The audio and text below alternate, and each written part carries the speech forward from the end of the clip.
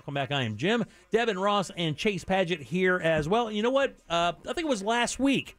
Uh, this gentleman announced that he was done with the business, retiring after 38 years. and I don't know that there's a more legendary news personality in Central Florida than the one and only, the great. You guys give it up, Mr. Todd Ulrich.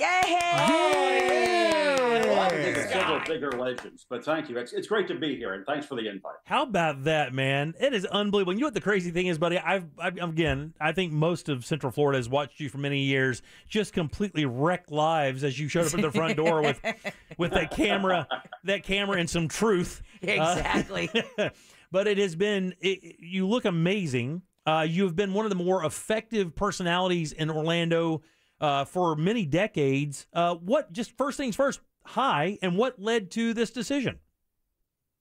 Well, I tell you what. First, this has been my dream job. Uh, I've been doing. I've been at Channel Nine for 38 years. I've been in the full-time TV news for 44. But Orlando was a and Channel Nine was a great fit from the very beginning. And then uh, 30 years ago, I started the Consumer Investigations, and I it it's been a privilege. And I I was excited every week to connect with our viewers. Uh, we would uh, have dialogue with about two to 300 every week uh, helping people even though they didn't get on the air. And it's by trying to help them that we could identify the stories that we wanted to share with everybody else so our viewers, our consumers wouldn't make that same mistake. And it really worked for a really long time. And brother, I got to tell you, I think that I think you could do this job and do it well and not have the impact that you have because you're such a likable person and it never seemed malicious, Todd. Even though you're going after people who may have been doing some squirrely stuff, it you never came off like a malicious bully news person who was entitled to this, you know, trying to scare people into doing the right thing. You always really kind of went at it with some humanity. Was that was that a was that a noted thing? Did you try to do that? Well, I hope so. And it was never about me. It was about the consumer or the group of consumers who were losing money uh, and, and, and they, didn't get what they paid for. And we would, just show up after these folks wouldn't talk to us to ask some very straightforward questions. And uh, it wasn't about the drama there, it was about getting the answers. So I think that's why it, it stayed on that plane. Although Jimmy has said for years that when a business saw you show up on their doorstep, they were not going to probably be having Yeah. a very good day. it was like this is the last guy you want. When you, Exactly. when you look out your window and you see that dude pulling see up, and Todd Ulrich, you're like, oh. he gets out of the car, I run out of the back. right, exactly. It's that simple. Um, so hey, we just want the answers. That's, that's right. Yeah, yeah, right. I love that. is there one instance that really jumps out to you as kind of like, man, we brought a lot of justice and I, I didn't think that this was going to be the end result. Is there one uh I don't even know what to call it, an Case. inci- one case that really jumps out to you to go, we really made an impact on this one? Well, I, one does, and that's Lou Pearlman and Oh, his wow. transcontinental savings Ponzi scheme. Because we were the first station, uh, Action 9 was the first one to identify that. And even before he was doing the investment Ponzi scheme, he was doing a modeling scam with Alec DeFroy. And we were, had identified that like three or four years before he then came on the scene in Orlando. I mean, they were giving him the key to the city and he was winning all these awards. And it's like, hey, guys, you need to know what's going on behind the scenes here. And uh, again, he was taking promising big returns on these investments. And then when it came, uh, when it was all exposed in the end, $300 million gone from many from investors right here in Central Florida. I mean, Wow. one, one of, I mean, and to have it mixed up into pop culture that thick when it was happening Yes. made it so, and I'm sure that insulated him in some sense, uh, Todd, because, you know, here you are, you know, the investigative reporter uh, for Channel 9, Yeah. very powerful. And then, you know, theoretically, I mean, you, you perception wise, you look at Lou Pearlman and are like, oh, this guy's helping kids get into the business, blah, blah, blah. It must have been kind of tough to do with that because I'm sure that people Get some probably, pushback. people probably looked at you like you were a little crazy. there was a lot of blowback, both in the community and at times within the station, because he had this national reputation as this star builder with NSYNC and Backstreet Boys, and allegedly everything he touched turned to gold.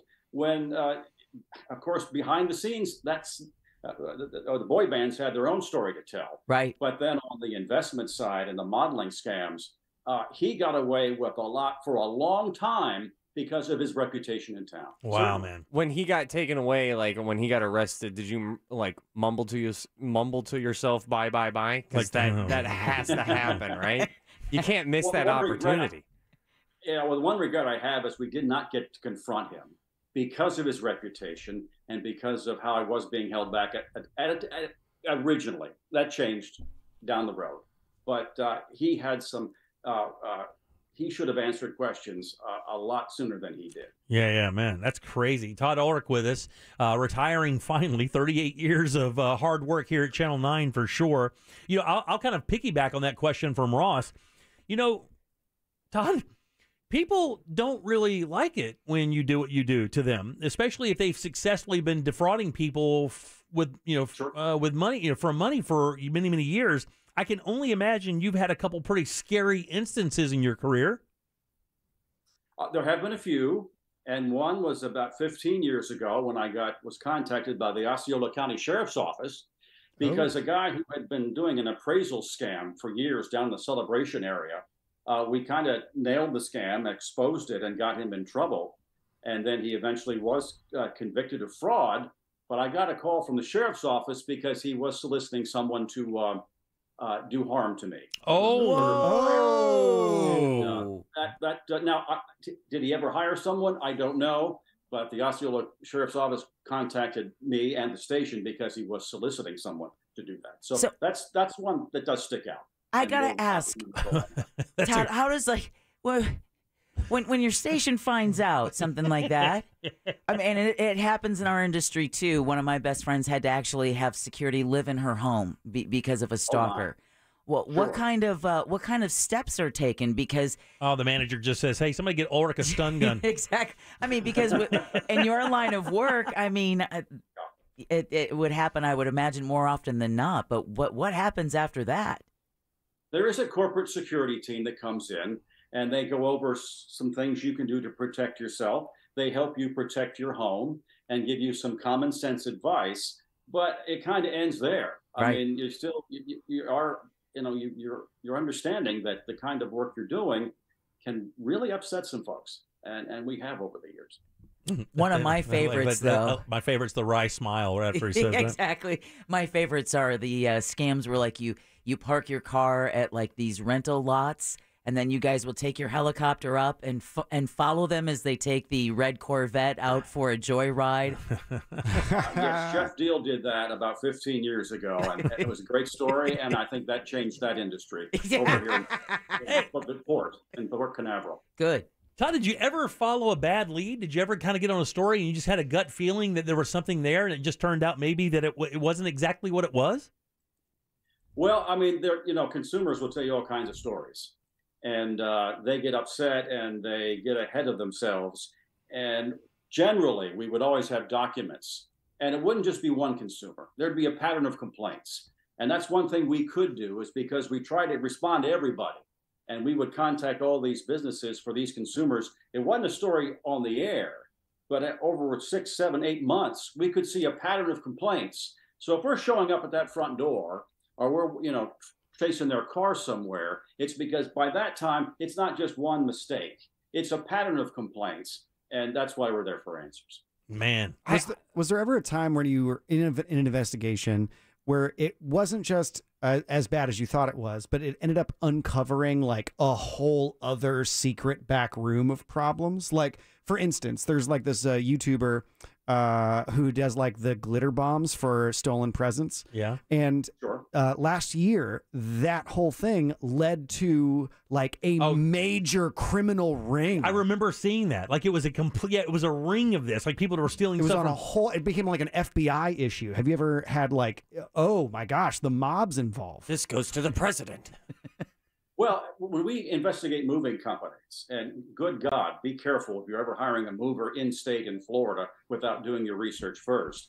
But we certainly did we'll, take one moving company and we'll see how it ties to one in, in uh, miami and one in new, new york and one in new jersey. And it's up and down the east coast. And uh, good lord if, if you hire them and they drive off with your furniture some of these companies you will lose thousands of dollars if you even get your furniture back Wow. Whoa. Yeah, those are those always scare me. Uh, Todd Ulrich here, uh, retiring from Channel 9 after 38 years. Central Florida Batman. Yeah, just a complete badass is what he is. Uh, Rauce, question? So I I have to ask because I'm actually I'm not the biggest fan of confrontation, and that was Sure. a massive part of your job. I want to go back into the time machine and ask you about your first time doing this.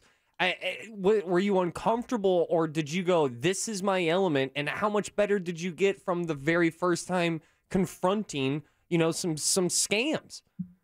Well, I could. uh, It's, I'm going to date myself when I'm talking about the first confrontation because it was VCR repair shops. Oh, man. God, Oh, those sons of bitches. shops where you took your VCR to get it fixed. What are those? We set up a, a consumer test where we had a VCR that we just took one part out of, and then we took that same VCR to four shops in Central Florida. And of course, only one said there's this one part to replace. All the three other shops ran up the bill, hundreds of dollars, and actually VCRs did cost that much back then too. Yeah. But you know, there, there- there's a sense of outrage when you know that they are deliberately taking advantage of you. That's for me makes the confrontation easier. I mean, if we've got good questions to ask, I don't mind asking. them. Well, Oof. Todd, this is to back you up on that. Someone just sent us a text to 77031 and said, uh, Todd has so much influence in Central Florida that when a now out of business transmission shop tried to take advantage of my mother, all I had to do was threaten to call Channel 9 News, and they shifted gears and fixed what they should have fixed for free. Um, what are your plans for retirement now? What, what are you going to do now that you don't have to be chasing cars and knocking on front doors of businesses? Well, I once a consumer advocate, uh, always a consumer Mhm. advocate. I mean, there's full time retirement, but I'm not going to walk away from what I really have a passion for and what I care about. Uh, w- what that will be, when, where, how, I don't know the answer to that yet. But I'll be out there in some form. I, I, I really, I, I love the what what I did, and and I hated to walk away from it, but it was time. And now I want to mix retirement and doing good for consumers too. Let's clear this up. People have said that Martha forced you out. People have said that, and when I say people have said it, I said it to uh, two people, and then they said it back to me, so I have to say it that way. Uh, I did want to ask. I did want to ask you. Uh, there, there are certain industries that have bad reputations, right? I mean, you you mentioned the uh, the repair shops. Obviously, you know, you have uh, car repair, you have roofing companies, Oh, pool companies. In your career, what industry had the had the most complaints, and you had to face the most? Well, uh, car repair would be at the top of the list. Mhm. After that would be home contractors.